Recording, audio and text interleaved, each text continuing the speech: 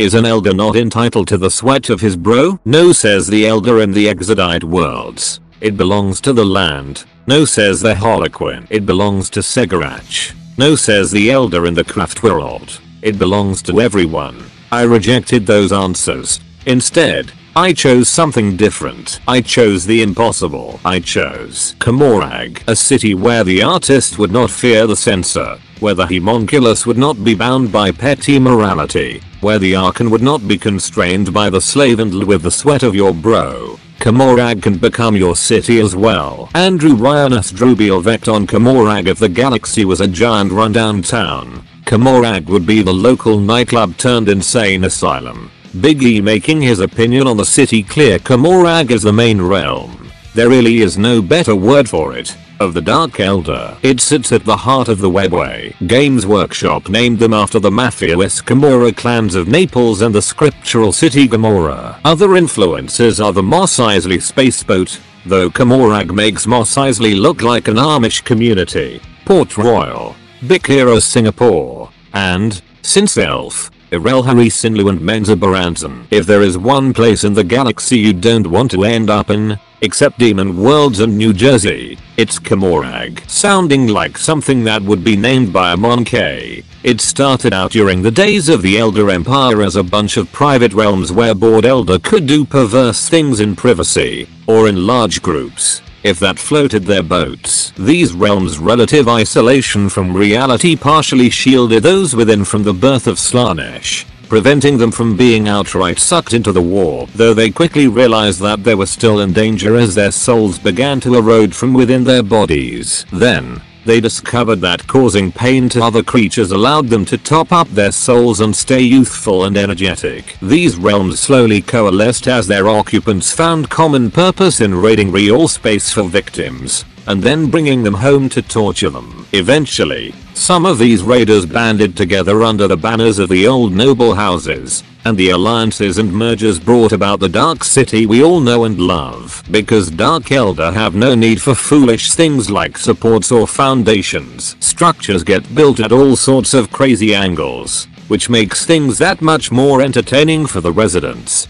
From jet bike races among the rooftops to gladiatorial challenges in the arenas to the therapist's office, Commorragh has it all despite it being hidden in the webway and being crazy heavily defended. Commorragh has been invaded multiple times, often by orcs, one time by space marines, salamanders and their successors, fittingly, or chaos space marines, death guard of all people, but mostly by demons. Almost all of these invasions were engineered by the Dark Elder themselves to deal with their rivals in the ensuing chaos of battle. Denizens don't even consider these incidents threatening anymore. If anything your average Kabalite sees it as an upgraded version of a real space raid. You get the joy of the hunt without leaving the dark city and subjecting yourself to a withering influence of Materium sucking half of the energy you take from torturing your quarry and you can backstab your competitors, superiors or aspiring underlings as there's no real space raid truce to stop you. Sure, some would die in the fighting, but most invaders don't have body annihilating weapons, so the neighborhood homunculus can fire up a resurrection chamber and regenerate you from little more than a phalanx digit in their back alley shop of horrors. Anyone who gets accidentally vaporized by friendly dark light fire certainly deserves to stay dead for not watching their back, despite probably having one of the smallest populations for a faction in the galaxy. The fact that they are all in one place makes any attack a supremely risky proposition. However, in at least three instances the forces of the Imperium have displayed that they can locate, enter and exit Commorragh, with both the Death Watch and Space Wolves having done so and the forces of the Forge World Stygies also having marched an army right into the city before. While Imperium does have a lot of horrific planet destroying weapons, marching into a Commorragh and blowing one likely won't work. The Dark City is actually not one place, with thousands of webway nodes connected through infinite travel portals. So any WMD powerful enough would at best only destroy one district and make already dreadful Commorragh traffic a bit worse. As some other districts would have to redirect routes that led through destroyed districts. Considering Dark Elder often destroy each other's districts in their multiple internal conflicts, Imperium blowing up some wouldn't even register. The history of the Dark City Commorragh's history begins with the rise of the Elder Empire an interstellar nation which straddled the galaxy for countless millennia and was the dominant force in the galaxy until the fall which saw their almost total collapse. One of the key advantages which allowed the Elder Empire to grow so powerful was their ability to use the webway, a form of FTL travel left to them by their creators the old ones. The webway was the principal mode of transportation for the Elder during the tenure of their empire and, as a result, Numerous port cities were constructed within it. Greatest of these was the city of Commorragh itself. However, when the spiritual malaise and decay that would doom their species set in, places like Commorragh were not exempt, with the inhabitants becoming cruel and capricious creatures, seeking ever more decadent, and often violent forms of self-gratification. When the fall occurred and Slaanesh was birthed into the galaxy in an orgy of, well just about everything, the Elder Empire practically ceased overnight, with countless elders simply falling dead. The Elder within the webway, however, were shielded from this effect. Although Slaanesh had purchase on their souls, the young god could not simply extract it at will, instead slowly draining the soul away. As a result the webway, like the craft worlds, Cegorach or the world spirits of the Exodites, became a form of refuge for the surviving Elder. Commorragh, as the greatest of their webway port cities, became a hub for surviving Elder to gather and exist in relative safety. Unlike their craft world, Exodite and Harlequin cousins, however, the Elder of Commorragh chose not to give up their old ways, even though it had now literally damned their souls to an eternity of torment. Instead they devised a method by which they could sustain and feed themselves off the misery and suffering of others, ensuring they could live and escape Slaanesh as long as they could get access to adequate amounts of pain. Sort of like Boja. Indeed the Dark Elder are, effectively, pain vampires. In the initial history of Commorragh it was ruled by dynastic noble families and clans, feuding with each other, and leaving it a rather anarchic place. Their rule was, however, eventually overturned by a former slave known as Asdrubael Vector was smart enough to realize that there wasn't anything that couldn't be solved by a space marine and, so, managed to lure the heads of the major noble families into fights with some Salamander chapter space marines which saw them all promptly killed. In the aftermath Asdrubael took over and instituted a new system based off Cabals,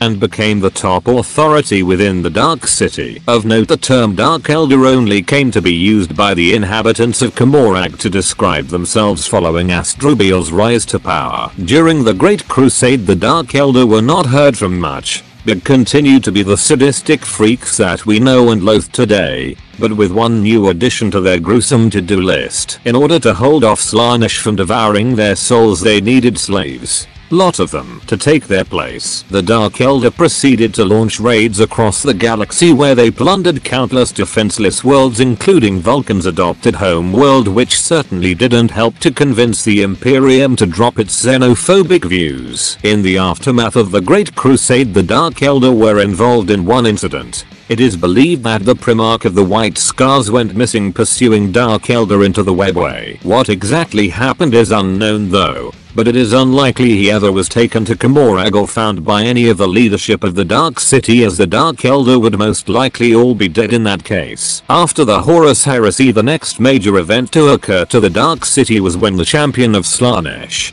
Lucius the Eternal was briefly detained along with Fabius Bile within an outer satellite of Commorragh. The capture was revealed to be a ruse, however, by the Emperor's children who proceeded to release demons to feast upon the souls of the Dark Elder present. It was noted as being the largest single loss of Elder life in ages, with the demons of Slaanesh so overjoyed that the entire Dark City was briefly cowed from action as they looked to their own defenses. Turns out that trying to outsmart a demigod-like being doesn't work so good. Despite these incidents the reign of Asdrubael Vect only saw one serious challenge from the domain of Shaa-dom a powerful holdout of the former nobility. Although they proved a worthy adversary for a while the master of the Dark City eventually doomed the domain to a demon infestation, removing that threat. Although the leader of Shaa-dom was briefly restored to life by descendants of the nobility and plunged Commorragh into war, this threat too was halted eventually at great cost. Only much later would another,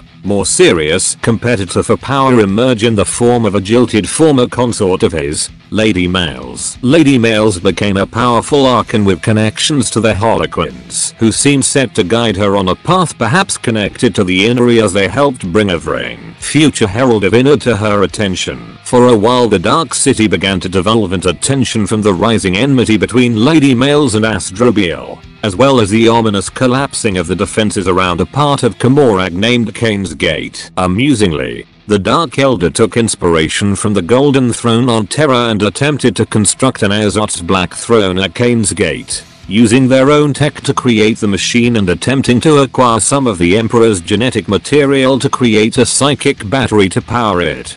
So I hear you guys are into thick big titty wafers. Well we got you covered at neckbeardia.co.uk. One stop shop for Kumjar models. However we do sell a lot more than just smut models we got everything for running any fantasy settings and even some not grim dark science fiction models. In fact we even have some anime inspired models and video game.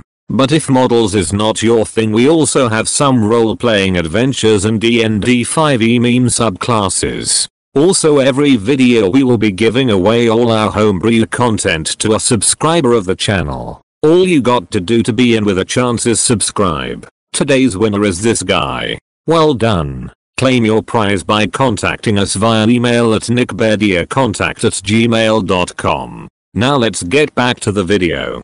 Fracture of Biel-Tan of late Commorragh has been rather turbulent. The emergence of Yvraine as the Herald of Ynnead saw the largest disjunction in Commorragh's history. The infamous Khaine's Gate tearing open and allowing a veritable flood of demons to begin overwhelming the city. Although Vect had put countermeasures in place, and the Cabals did attempt to counterattack, these did little to stop the invasion with the demons continuously gaining ground and feasting on the souls of the slain Dark Elder. Indeed the situation became so grim that many Dark Elder began to talk openly of overthrowing Vect for allowing such an event to occur in the first place. Actually when you think about it it couldn't have been that bad considering they had the luxury of plotting a coup over the dinner table rather than being more worried about being gutted by a demon and sent on the express route to their creepy stalker goddess. Certainly the Dark Elder Elder did not help themselves by continuing to fight against each other and by dispatching some of their own even in such a dire time to chase down and slay the Ynnari. However,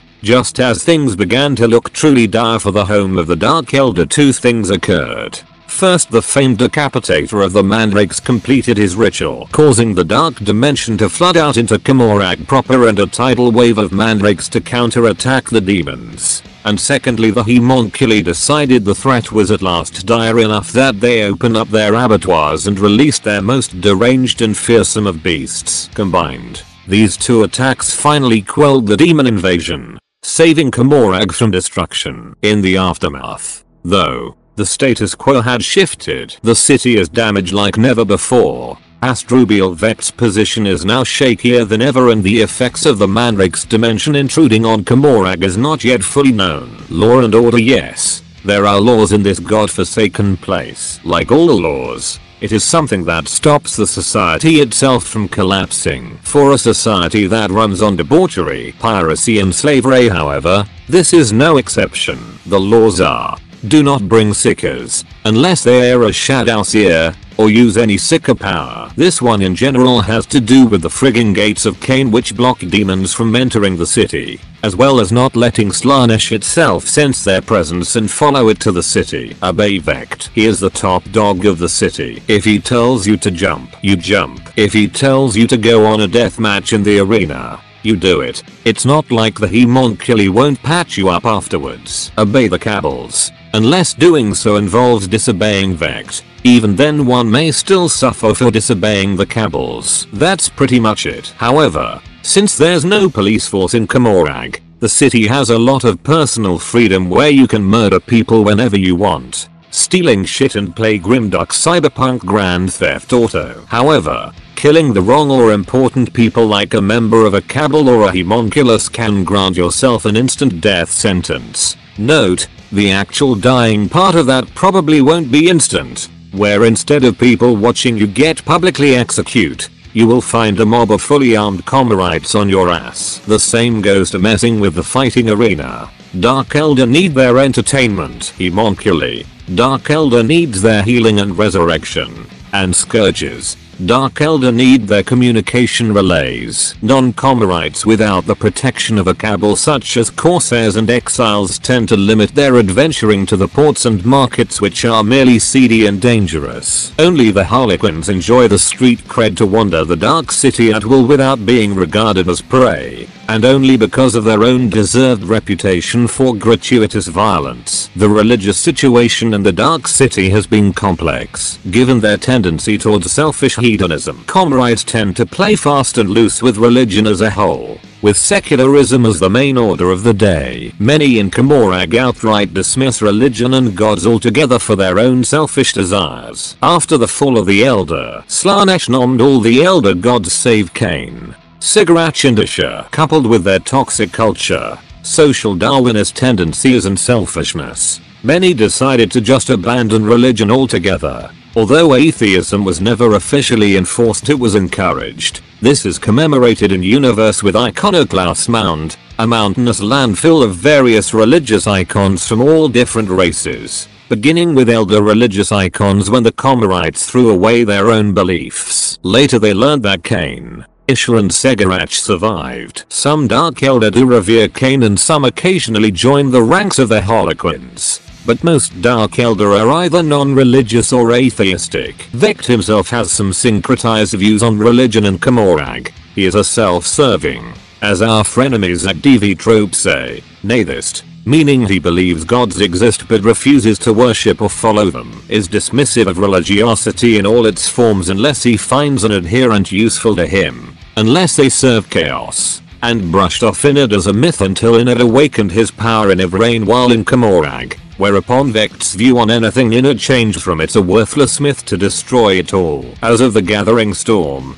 Yvraine's sudden awakening to Ynnead's blessed power has broken one of the above law to not use any psyker power. As a result, demons poured in and Vect had to deal with this shit himself. Well, surprisingly, he failed and now Commorragh is more chaotic than before. Riots everywhere with Dark Elder joining either Lady Malys or Vect for more misunderstood infighting. So yeah, order for the sake of disorder. Ironic how a tour guide of Commorragh if you're not a Dark Elder, Harlequin, or a badass mercenary. Commorragh can be difficult to get around in. It's a city that destroys the weak, torments the slow, and kills the stupid. Of course, all the previous three will die. It just varies on how and when. Despite popular theory, non-elder can prosper in Commorragh, since there are several parts where aliens live in towns and the most fearsome can be recruited into Dark Elder cabals. In particular, it's not unknown for orcs to be wildly successful in the fighting rings only to give their masters a good crumping and go free agent. A list of tips for newcomers. Head to the district called Null City and become a badass alien mercenary. Humans are aliens the Dark Elder. Don't fuck with Asdrubael Vect. Otherwise, you were most likely brought back so Dark Elder could feed off your pain so Slaanesh won't eat their souls sacrificed to Slaanesh in their place. You may have been brought back to be a human homunculus guinea pig,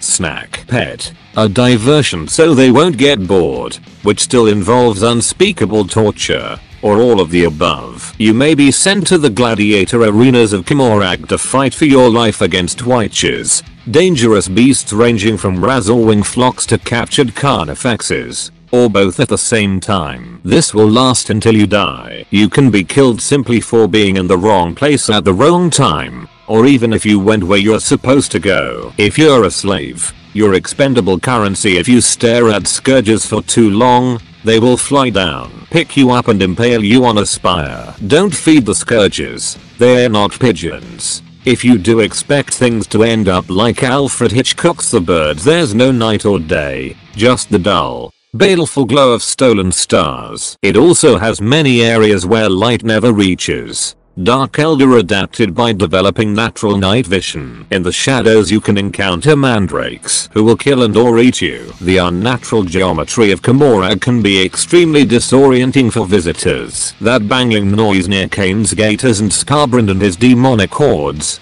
See if the Emperor had a text-to-speech device. It's absolutely nothing at all. Nothing at all. Commorragh could be called a tourist trap in the most literal sense of the word as anyone who tours Commorragh will end up trapped in an arena or homunculus lab and end up as a meat puppet for some demented homunculus who thinks you'd look better with snake skin and swords for arms and legs. Commorragh has free healthcare. Just CDR homunculus for the slightest cough. Reaver jet bikes and Hellions hate each other and they hate you. While it's likely that the Reavers would run you down for fun, the Hellions aren't so sadistic. They'd give you a head start first if you're being chased by one group of flyers. Flee towards more flyers and then escape in the ensuing air battle. Don't go out alone unless you're stupid powerful. In which case going alone is always the best choice. Basically you have to balance being threatening enough to deter casual interest without looking like you're out to fight a small war because someone will take you up on it.